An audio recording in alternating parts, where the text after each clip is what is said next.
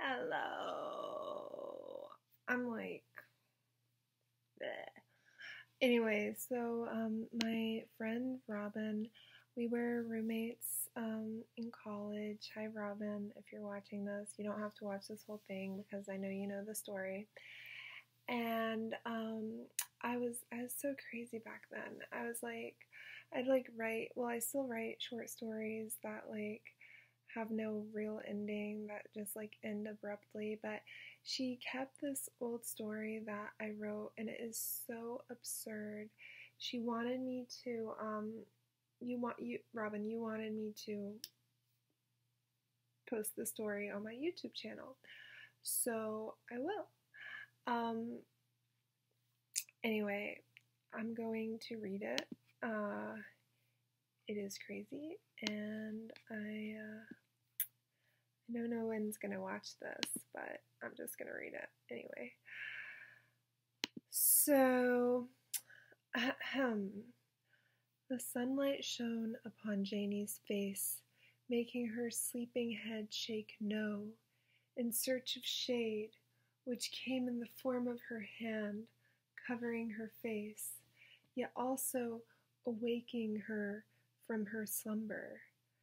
She sat up in bed, eyes casting upon her room at the nunnery. It was small by most people's standards, but big for the standards of the nunnery where she was training to enter the sisterhood that was mar- that was married to Jesus. Remembering what she was here for, she glanced to her right above her bed at a wooden crucifix. Behind Janie where her pillows were, where her head had lain, where one conventionally hangs the crucifix above one's bed, was a window. Janie lingered in bed, thinking about the night before. She was in deep shit. Deep shit with the sisters for smoking weed. It brings me closer to God, she thought. But then she wondered why nobody had been in to check on her when she hadn't gone to breakfast and worship.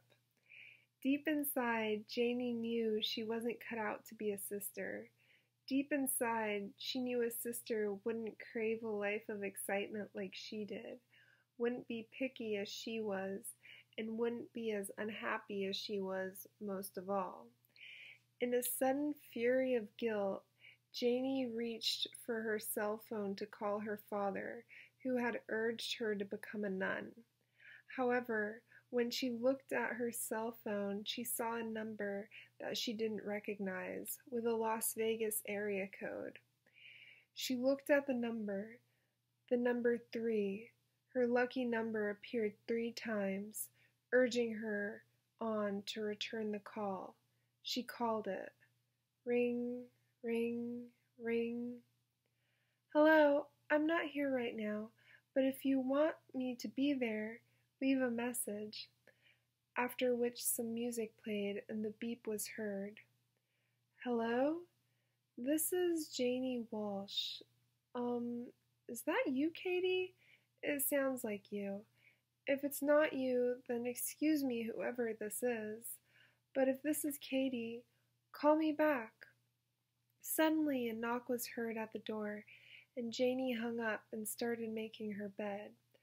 After she made her her bed, she ran to the door, opening it only to see one of the nuns who had already began to walk away. Sister! Janie cried. The nun slowly turned around and with an unreadable expression began to walk back toward Janie.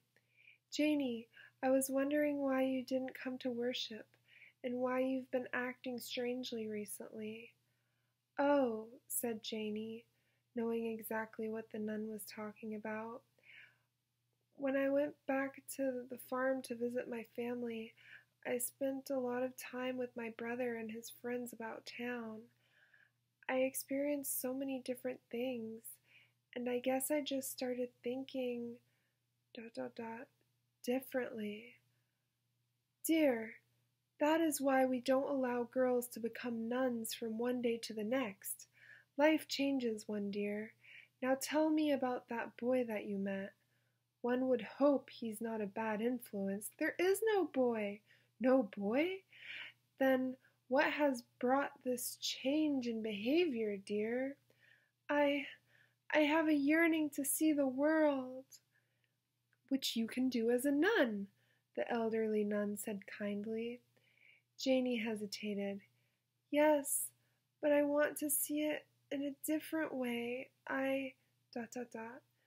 Janey looked at the elderly woman across from her sizing up the probability that she may have a heart attack once she was sure that the woman was of good constitution, she continued, I want to be with a man.